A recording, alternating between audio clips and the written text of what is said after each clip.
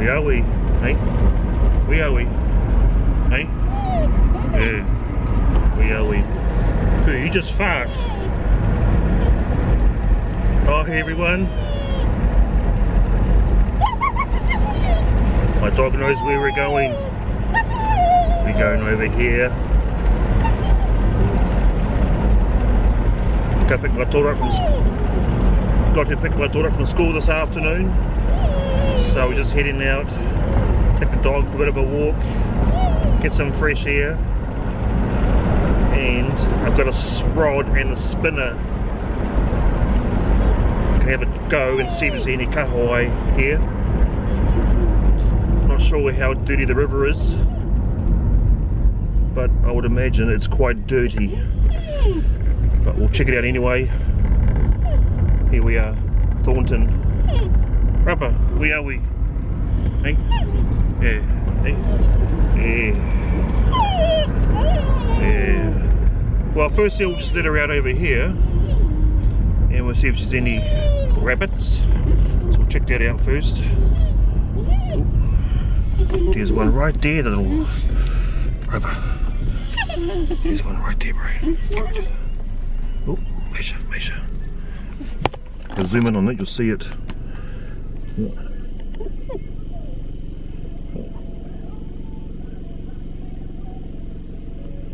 There it is right there. See the rabbit there? Having a good old munch. Right. Nisha, here you go. Nisha. Nisha, come. Come. Nisha, seek, seek.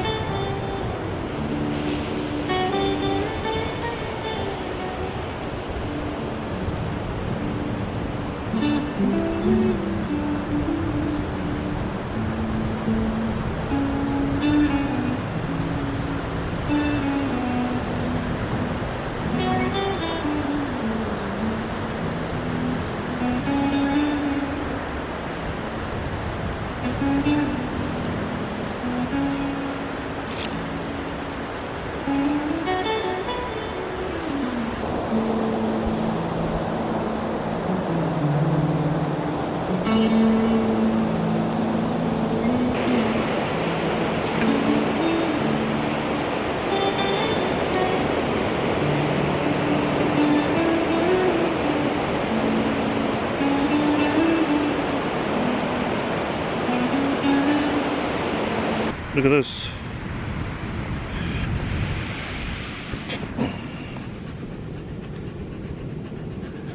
Sticking out of the sand is a sand sinker. There you go. Heaps of footprints around and people don't uh, really look that well. And there you go.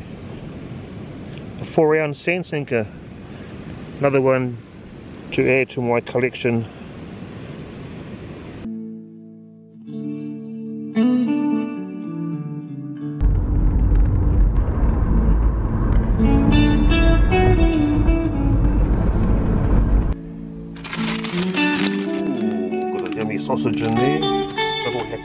Roll. Here I am at one of my favourite puha spots, just down by the beach. Haven't been here for about oh, way over a year and there is so much puha around, it's fantastic. I've nearly filled up a bag already and I've only walked probably about 30 metres. So the sausage roll that I've had and that saus uh, sausage has really given me the energy to really get through here and really pick the puha that's here. So here's some uh, puha here that I've um, going about to cut and I'll show you guys that. So we've got some Good puha there. I like to cut it just above the ground like there that's so you don't get the roots so I pull off a few old leaves on the bottom give it a nice tidy up in the field. And there's a nice piece of puha there. And next to it there's another piece. So we cut it just above the ground. And there's our second piece right there. Let's pull the old sticks off and stuff so there's our two pieces of yummy as puha. And there we go. So I'm going to walk around here and see if I can find some more. Because man there is heaps around. Look another piece right there. We'll cut that as well. Now there's some pieces here. As you can see they're already flowering or starting to flower um, might be a bit late picking that but what I'll do is I'll just uh, cut some of these shoots of head on the bottom. So I'm going to cut those off and uh, nothing wrong with that at all. I'll leave the big bits behind. So get the old knife out and we'll cut those. Sort of bits in here we'll just cut off those pieces like that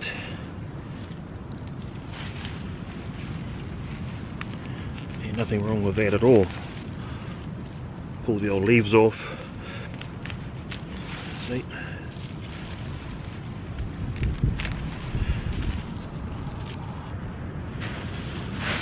put them in the bag and carry on. Oh, my bloody knee. Fucking hurts as.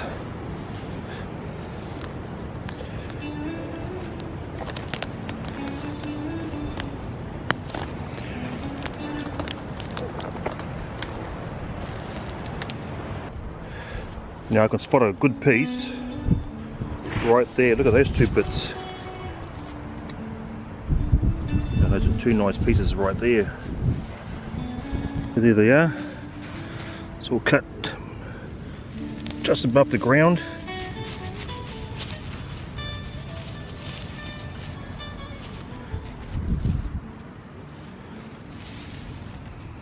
Good piece there. And this one as well. All cut just above the ground.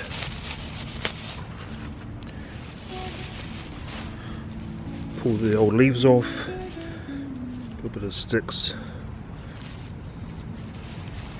And there we have two more good pieces. Oh well, hi everyone, I've just had a bit of a sleep after my epic day in the wind down the beach picking the puha and now I'm going to get the meat ready to put on the boil I was lucky enough today down at Pack and Spin was they had pork shoulder chops on special for six dollars a kilo. So as you all know, in my boil ups I always use pork, pork chops or pork strips. A lot of you guys like eating brisket and pork bones and bacon bones, but in here we really enjoy eating our pork chops or pork strips yeah, six bucks a kilo, so I've got three lovely as pork shoulder chops with tasty as looking fat on there for $8.80. So that's our chops ready. And I have some beef sausages which I'll put in at the end. A lot of you guys I know don't like sausages in your boil ups, but here we do. Especially myself. They're yummy with piece bread sausage and some sauce on it. So there we have guys, there's our two meats. Now I've got a kumara, 9 bucks a kilo. Expensive as, so I only got one, one kumara. Now I don't normally have potatoes in my boil up. But I thought, well what the heck. It's cold, it's August. Let's put some potatoes in there. And also I have here some pumpkin, not grown by myself, but from the shop. They're all good old pick and spend. They have tasty as kai there for the boil up. So there we have it. Kumara potatoes, pumpkin, sausages, and pork chops. Right, let's put our pork chops in there. Lovely bit of fat. You've got to have fat in your boil up. There we go.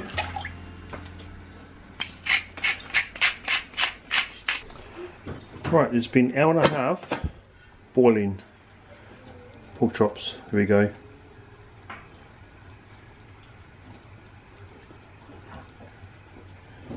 Yeah.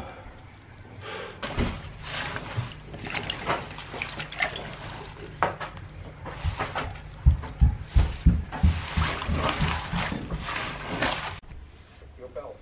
Your belt. Everyone's gonna love Raymond if this is the top answer.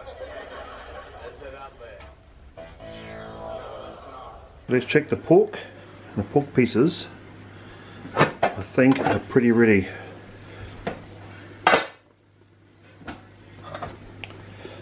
Look at that.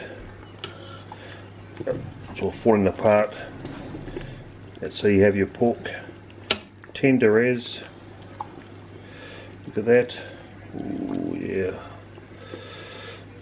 Right, the meat is so tender, it's time we're going to add the puha and the vegetables to it. So let's do that, shall we? Let's check this out. Ooh, look at that. That's nearly ready.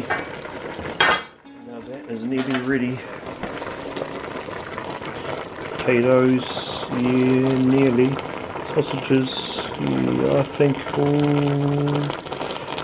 another, another 10 minutes. There's Nevis Kai. There you go. I'm telling anyone who will listen, I even ran the people on the streets,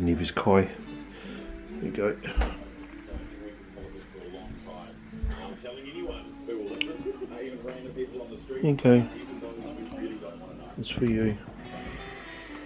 Hey, so Jacinda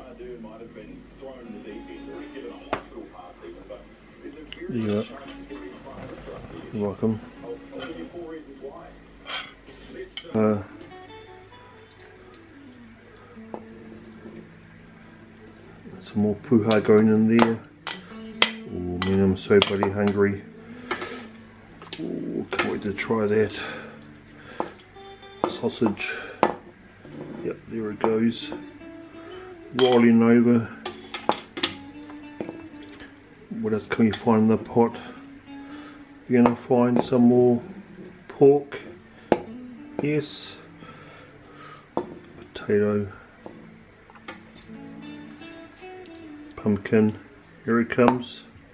Here it comes. Whoa. Look at that, guys.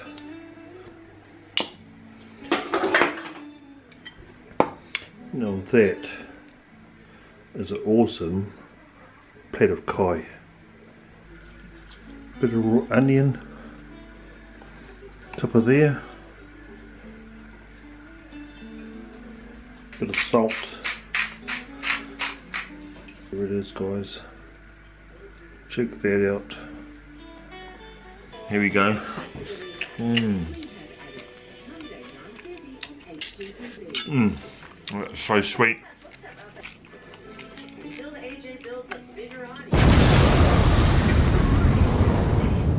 Mmm. Pork fat. Justin